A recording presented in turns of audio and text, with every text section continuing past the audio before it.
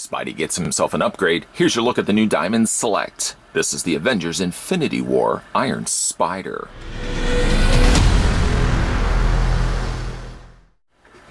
As the Avengers and their allies have continued to protect the world from threats too large for any one hero to handle, a new danger has emerged from the cosmic shadows. Thanos, a despot of intergalactic infamy.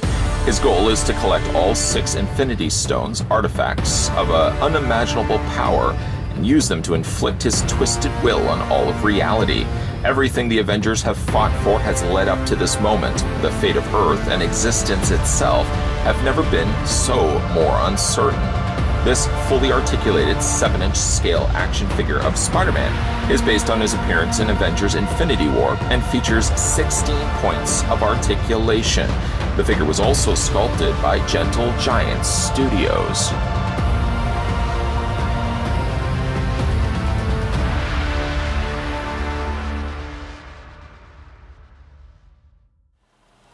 To get this review underway, we're going to first figure out how tall the Iron Spider is. You'll notice right now that I'm not measuring to the tops of his additional mechanical arms, just because you can dictate where you want to put that on the figure. So I'm actually only going to measure it to the top of his head. I think we'll firmly plant the measurements right there, sitting the figure at 6.7 inches in height, which in centimeters, answering the cries to the mob, Whoa, we just missed, we went right past it. There we go. 17, 17 centimeters is the Iron Spider. Sadly for the Iron Spider, he doesn't come with any other accessories but some interchangeable hands. Would have been cool if he had come, in, come with a diorama, at the very least at the side maybe of that spinning ship that the Iron Spider latches onto, or Peter latches onto before he eventually gets this costume. But he doesn't come with anything other than some interchangeable hands. We'll look at those right now. Of course, web shooting hands are always the tried and true go-to for any figure from any company producing Spider-Man figures. And yes, the Iron Spider does come with his fair share of web shooting hands. Moving further from that, he also has a pair of gripping hands. And then sadly, that be the reminder to us that he doesn't come with any swinging webs of any size. Can't catch thieves of just like flies. Look out! Here comes the Spider-Man. Uh, yes, even though he doesn't have the means to, well, he has the means, he just doesn't have the supply of webbing to hold on to. Perhaps there is going to be a Disney Store exclusive that's going to give Peter some webbing. In the meantime, we just have some gripping hands. And last but certainly not least, last but certainly not least, he also comes with a pair of punching hands, just just fists, just a bunch of fists. So he actually comes with a total of eight hands. I know you just counted off six, but don't forget he's also got ones located into the socket sections of his forearms. There they are right there. Those are kind of like the latching on, wall crawling hands, if you will. One way to display the figure, certainly, in case you wanted to go that route. Um, and then, uh, yeah, that's that's all the accessories that he has, sadly. Do bear with me. Do give me one second. I'll certainly be right back.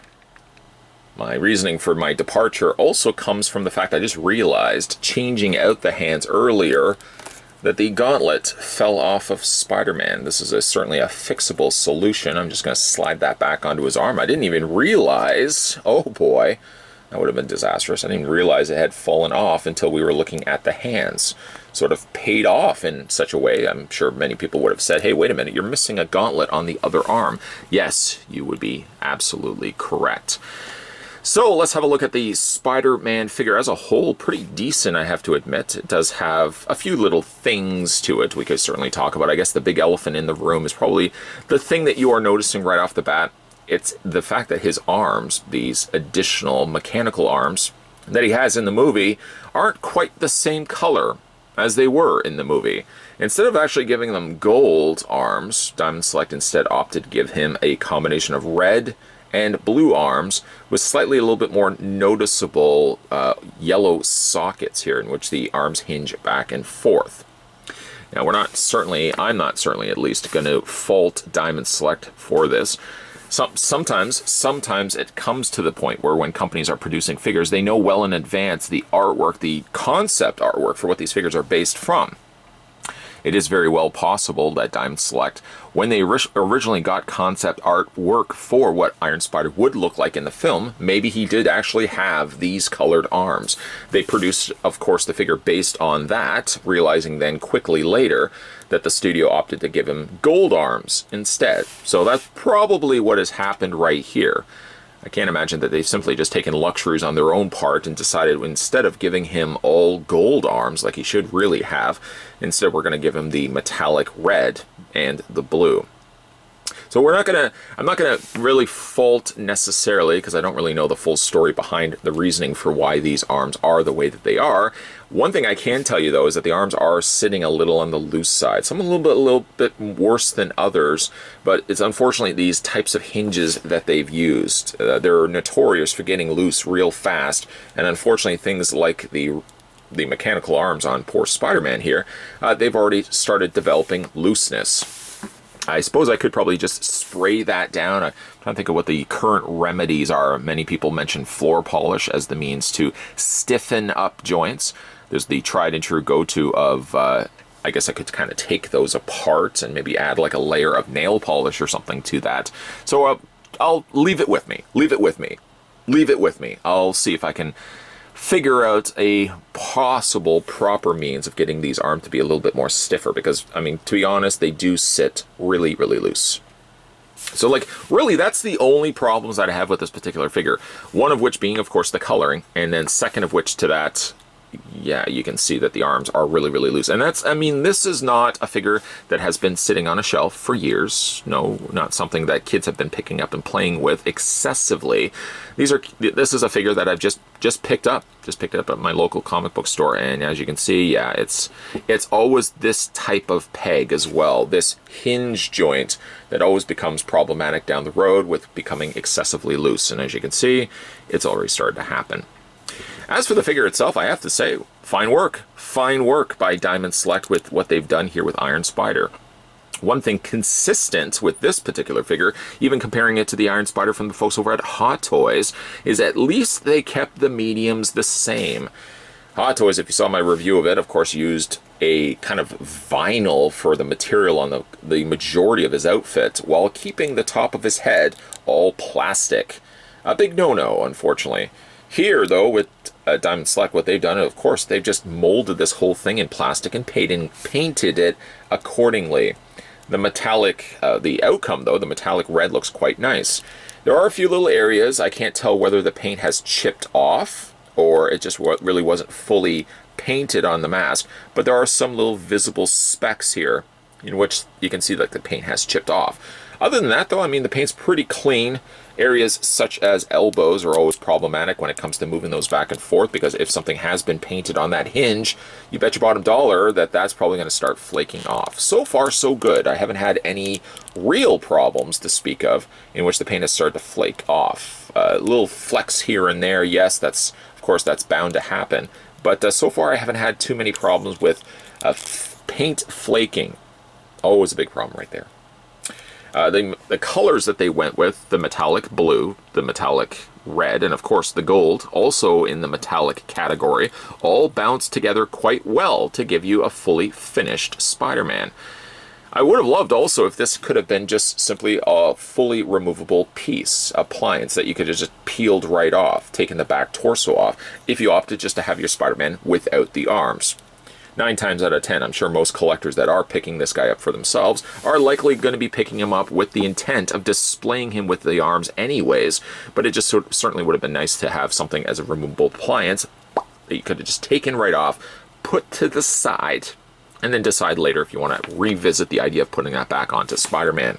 It's got some great panel lining, I must say, none of which has really been panel lined with black. Instead, sort of just keeping letting the mold do what it needs to do you can see all these cool little circuited circuitry sort of paneling there all on his legs. Must say I also like the blue that they went with as well. It's sort of a really dark blue. Camera almost even wants to pick it up a little bit lighter than what I'm seeing in person. It almost in person looks a little bit more like a purplish blue than the blue that we're seeing through camera. I'm seeing this through the camera as well.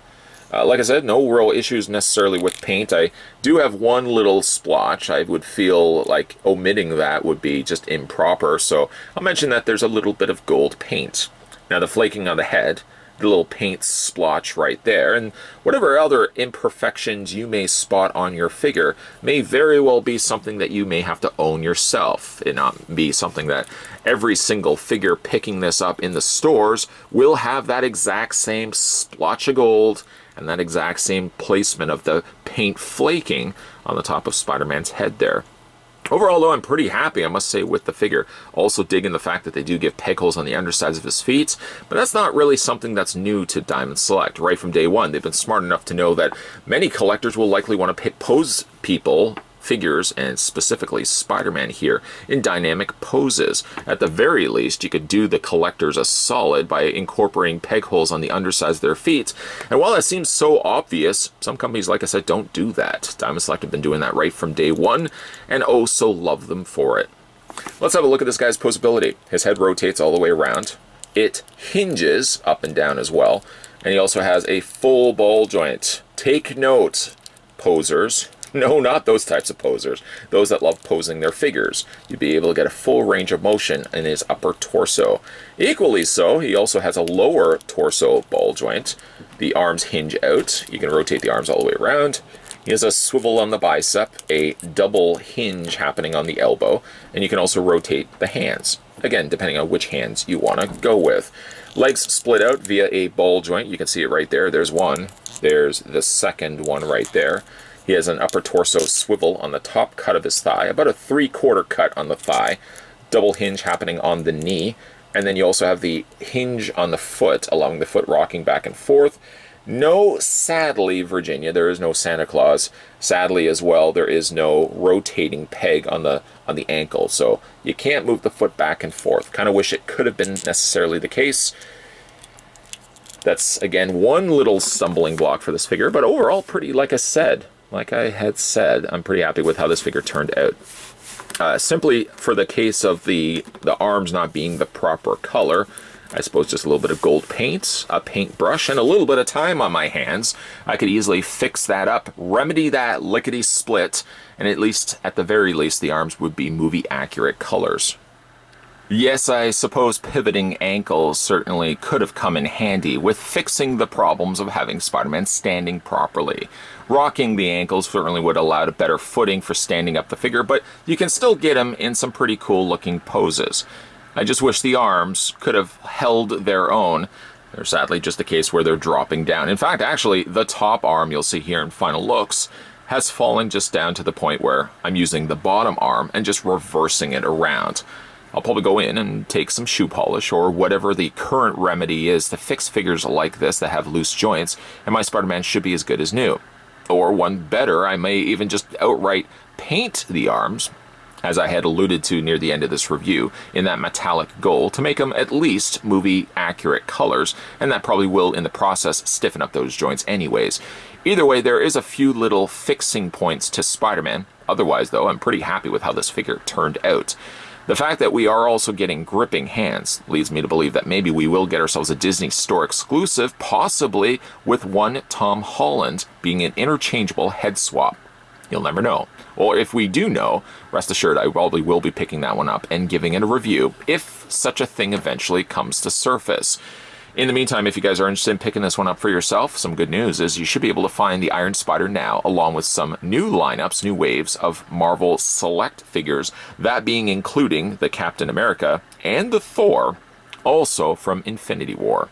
Both of those, as well as Iron Spider here, should now be rotating, circulating around on the pegs at comic book stores. So if you are interested in picking these ones up for yourself, good news, they are available. Easy, just like that. Just go into your store. If they don't have them, you can go to a different store. And if they don't have them, well, you can always order them on eBay. But I certainly would not pay scalpers prices when these are so easily available now in local comic book stores. Either way, like I said, today we were having a look at the Diamond Select Marvel Select Avengers Infinity War, and this was the Iron Spider. Nice looking figure. Make sure as well, my friends, my colleagues, and even the mob, make sure you hit that little subscribe button that's just below this video if you haven't done so already. And certainly more videos will be coming soon. stay tuned for those. Thanks for watching, guys, and I'll see you next time.